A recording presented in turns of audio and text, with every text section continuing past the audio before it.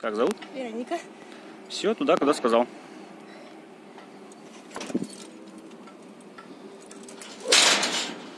Вообще красота. Все так прыгают. Ну вот, представляешь, девочки так прыгают.